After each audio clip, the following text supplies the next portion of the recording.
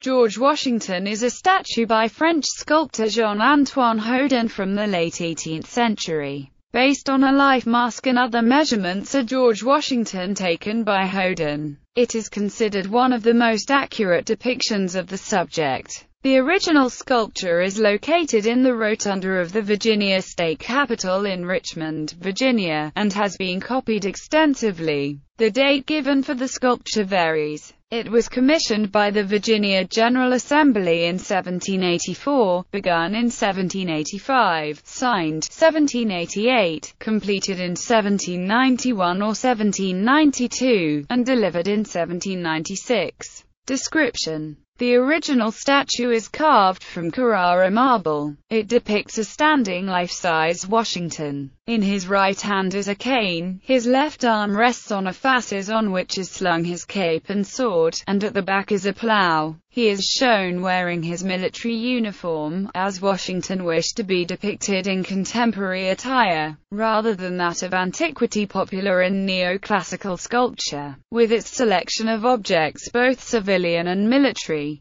The statue has been interpreted as invoking the imagery and ideal of an ancient Roman dictator, Cincinnatus, with whom Washington has been compared in his decision to retire from public life following the Revolutionary War. At the time of its commission, Washington had not yet served in the Constitutional Convention, and would not become President of the United States until 1789. Chief Justice John Marshall, a contemporary of Washington's, said of the work, Nothing in bronze or stone could be a more perfect image than this statue of the living Washington, Houdon original. In 1784, the Virginia General Assembly commissioned a statue of George Washington, to be of the finest marble and the best workmanship, necessitating the European craftsman the governor of Virginia gave the responsibility of selecting the artist to Thomas Jefferson, then ambassador to France, who together with Benjamin Franklin recommended that Jean-Antoine Houdon, the most famous sculptor of the day, execute the work.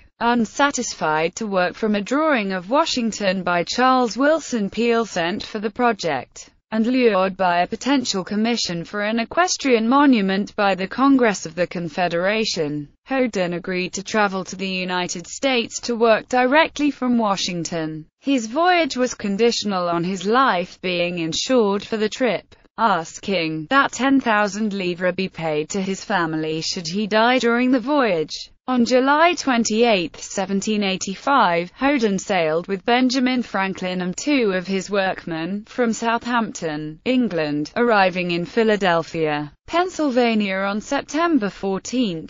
In early October 1785, Houdon along with three assistants stayed at Washington's plantation Mount Vernon, taking detailed measurements of Washington's arms, legs, hands and chest and making a life mask of his face. By December, Houdon had returned to France. Though inscribed with the date, 1788, it was completed in France in 1791 or 1792. It was finally delivered to Richmond, Indiana, 1796 and placed in the Rotunda on May 14, 1796. Various explanations for the delay in its delivery have been given, including the French Revolution and untimely payments to Houdon though most sources agree that the continued construction of the new Virginia state capitol prevented its installation until the time it arrived. The equestrian monument that originally attracted Houdon to America was never commissioned. The 1783 resolution authorizing such a statue would eventually be fulfilled in 1860 by Clark Mills as Lieutenant General George Washington in Washington Circle. In the early 21st century, the statue, together with the life mask and bust created by Houdon during the design process, were used as part of a forensic reconstruction of George Washington at various ages undertaken by Mount Vernon. Copies Beginning in the 19th century, numerous copies of the statue have been made in bronze and plaster, with molds often made directly from the original. Hubbard casts following the destruction of a statue of Washington by Antonio Canova when the North Carolina state capitol burned in 1831. There was a fear that a similar fate might befall Houdon's statue. During the 1850s, the Virginia General Assembly authorized the casting of 11 bronze copies of the monument.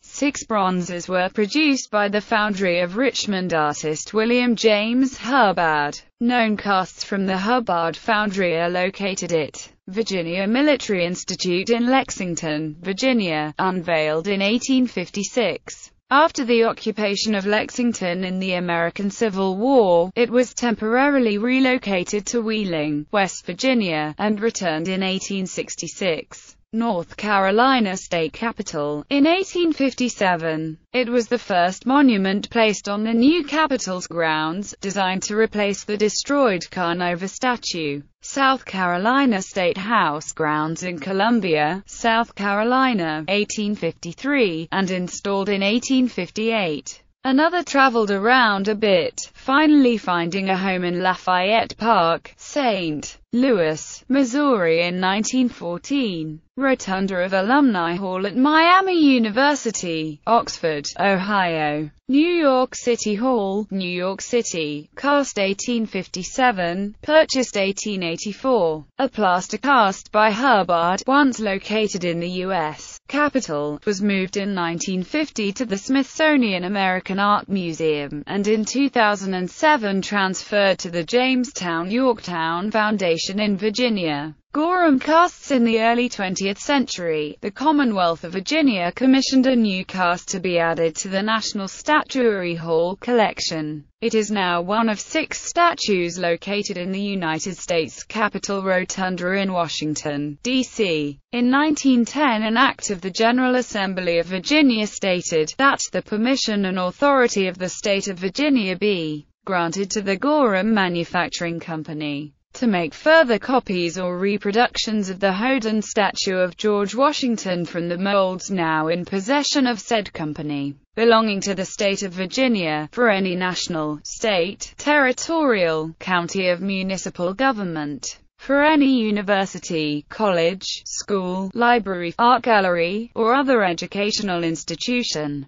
for any patriotic society related to the history and achievements of George Washington. Each copy was to be stamped with the Great Seal of Virginia and the phrase, copied from the original by Houdon. Gorham was to pay the state $500 for every statue made. The Virginia legislature banned future taking of molds, and so the subsequent casts were made from existing molds. The known locations of the Gorham casts include, in 1910, the Virginia General Assembly presented a bronze copy to the people of France using the Gorham molds. Springfield, Massachusetts. Jefferson Memorial Park, Pittsburgh, Pennsylvania, 1910. Oshkosh, Wisconsin, 1911. University of Virginia, Charlottesville, Virginia, dedicated 1913. The Art Institute of Chicago, 1917. This work was originally placed in front of the museum, but in 1979 was moved indoors, and is presently in the Chicago City Hall.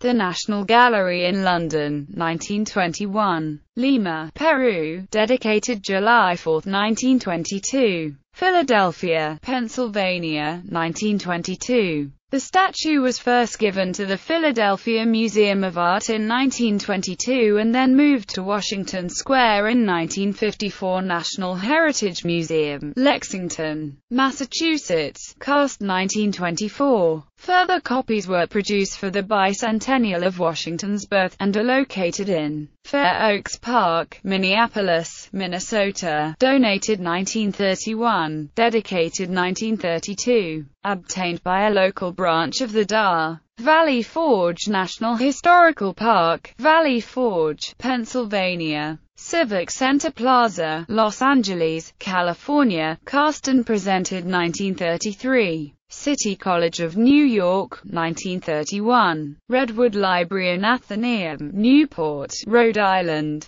dedicated 1932. Albany, New York, dedicated 1932. The Quad at George Washington University, 1932. Other casts since the Gorham castings, a few additional ones have been made. John M. Olin Library on the campus of Washington University in St. Louis, St. Louis, Mo. Cast 2004. Larz Anderson House, headquarters of the Society of the Cincinnati, Washington, D.C. Cast 2008. In addition to bronze castings, an unknown number of plaster casts were made, including one in George Washington Hall of the University of Mary Washington in Fredericksburg, Virginia of unknown make dating to the 1930s.